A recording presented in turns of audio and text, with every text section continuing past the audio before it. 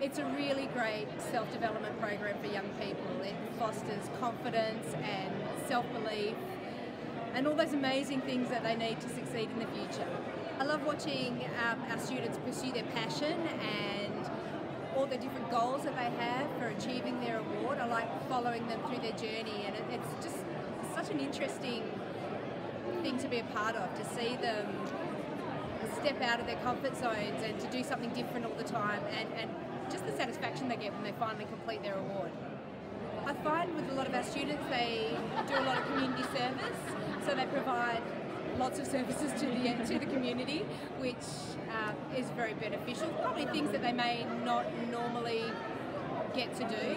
I mean, even some of them, it's something as simple as taking their neighbour's dog for a walk, their elderly neighbour, going to play chess with people in an old people's home. Sometimes it's the little things that make the biggest impact on the community.